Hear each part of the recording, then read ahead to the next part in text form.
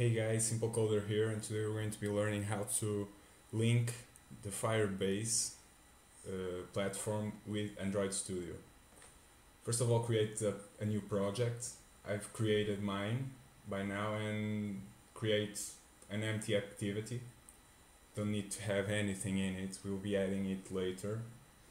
Uh, then go to Gradle scripts, build Gradle, and in here you're going to be adding the, some lines. The first of which is this one which I'm going to clear up yeah.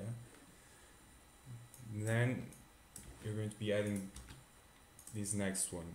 Now this next one must be after the dependencies. It can't be before or in it. It must be after in the end of the file. Next grab another line of code which I'm going to be linking down below to my git and you can go in and take anything that you want. And add it to this part.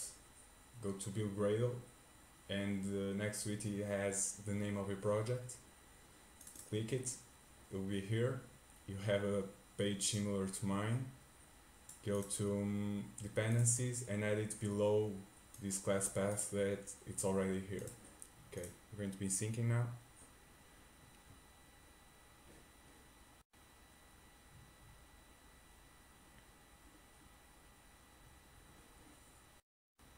Okay, after it is done, you, you'll probably get to this error.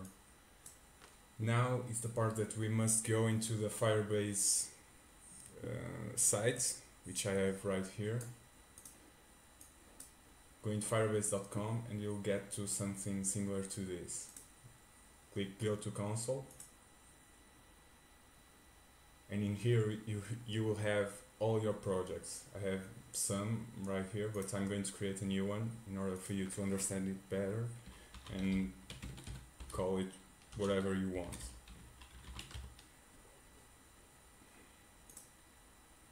Create project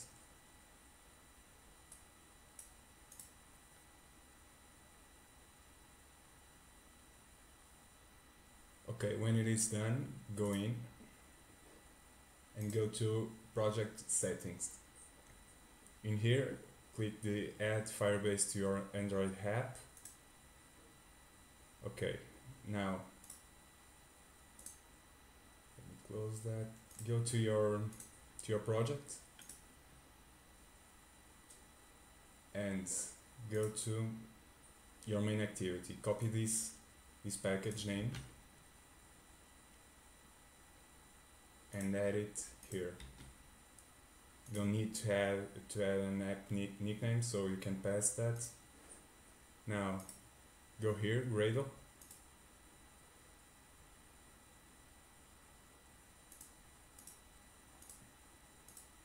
Android and signingReport.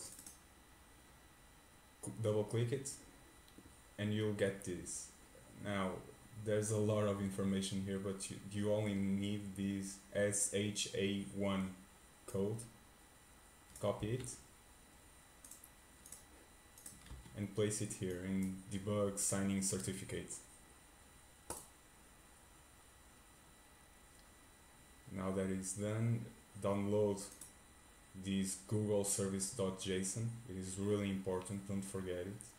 You can download it later but for the time being it is better to get to get it now. Okay download too. Go in here uh, change to project. App okay add this file to the app folder. Don't change anything about it. Just keep it like this okay? Now continue. This part we already did so you can skip it. And it is basically done. In the next episode we're going to be talking about login and registration and in the future we're going to be digging a bit deeper to the database and the rules and everything. It's really easy. We're going to be dumbing down that's the term that i was looking for. Dumbing down everything so that even someone that doesn't understand a lot of coding can do it as well and catch up with everything. It is all for now. See you later Ciao.